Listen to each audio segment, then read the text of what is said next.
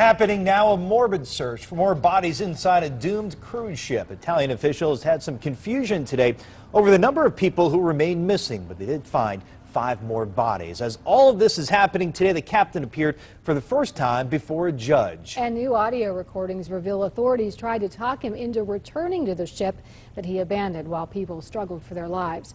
ABC's Scott Goldberg has more.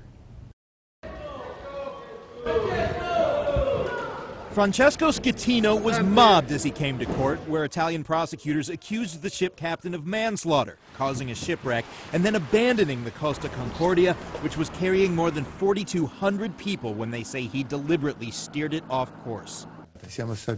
The captain at first said he acted honorably, but taped phone conversations between Schettino and the Italian Port Authority tell the story of a captain who left a sinking ship along with his senior officers while those on board fought for their lives. The Port Authority officer ordered Schettino to get back on board and said, There are already bodies, Schettino. Go. The captain asked, How many bodies are there? The response, I don't know. I've heard about one, but you must tell me. This is terrible. Back on board, passengers described a free for all, pushing and shoving for precious spots on a lifeboat.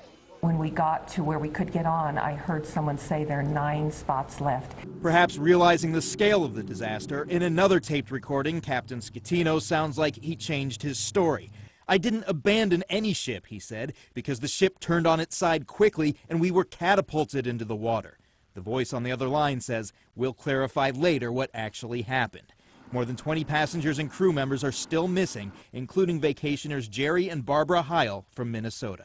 Schettino has not been charged formally, but that could happen soon. For now, he's been placed on house arrest. Scott Goldberg, ABC News, New York.